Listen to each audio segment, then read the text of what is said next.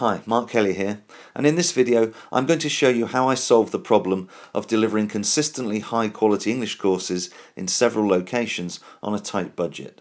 So if you run a British Council accredited multi-centre operation in the UK, this is definitely for you. Now I like solving problems, and when I moved from being principal at a year-round language school to running multi-centre summer courses back in 2000, I quickly realised I had a whole new set of problems to deal with.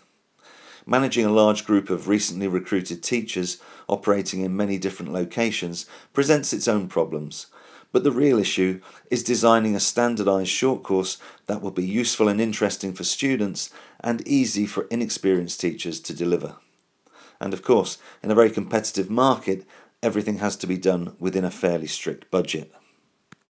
Simply giving teachers a standard course book and leaving them to get on with it doesn't work. Just turning the pages of a book for three hours is boring, whatever the book.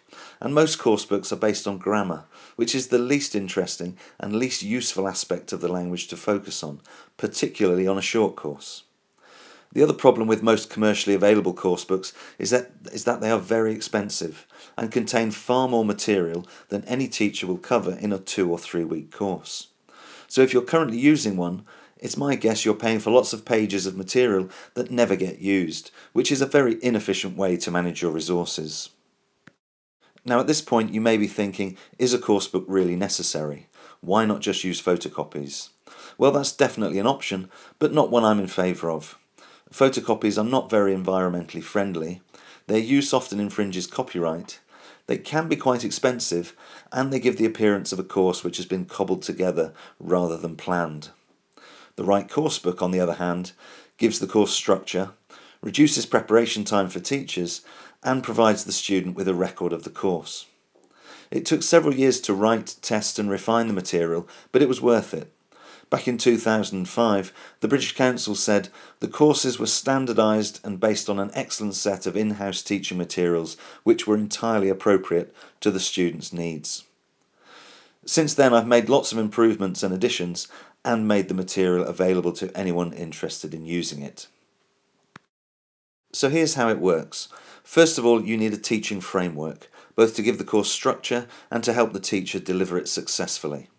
The teaching block has to be broken into manageable chunks, and a variety of activities should be included. So, what's in the syllabus? Well, the emphasis is on speaking and listening, topic based discussions, pronunciation, British culture and history, opportunities for students to be creative and to write about their experiences, common vocabulary, and plenty of language games. I used topics from the syllabus for the Trinity College exams in spoken English as the basis for the books because this is the only widely recognised exam that is flexible enough for students on a short course to do. To keep costs to a minimum, the inner pages are in black and white, and the material comes in two books a 40 page level specific book and a 32 page one size fits all workbook. The level specific books contain 12 topic based units with questionnaires, games, and quizzes to get students thinking and encourage them to express their own opinions. At the end of most of the units, there's a crossword that recycles vocabulary from the unit. There are also short grammar exercises which relate to the Trinity College syllabus and exercises which can be used as an optional end of course test. The workbook is just 32 pages, but it contains a lot of teaching material, including a step by step introduction to how English pronunciation works. This is a big part of the course because it's a weakness for almost all students, but it's something which is given very little coverage elsewhere. The workbook also contains short texts on a variety of aspects of British history and culture. Most summer courses have an element of cultural visits, so some classroom activities linked to this are useful, but they need to be short and interesting to keep the attention of teenagers.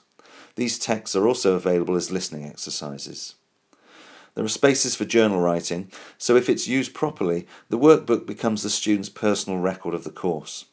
Finally, there are extra quizzes and exercises on common discussion topics. These are the current prices of the books on the website, and as you can see, they're a fraction of the price of other books on the market. If you'd like to start using material that the British Council inspection report described as outstanding, both in terms of content and presentation, please email me at mark at silverhammerpublications.com. Okay, that's it for this video, but that's not the end of the story. In the next video, I'll explain how the other course materials I've developed will also help you improve the quality of your English courses without breaking the bank. Thanks for watching.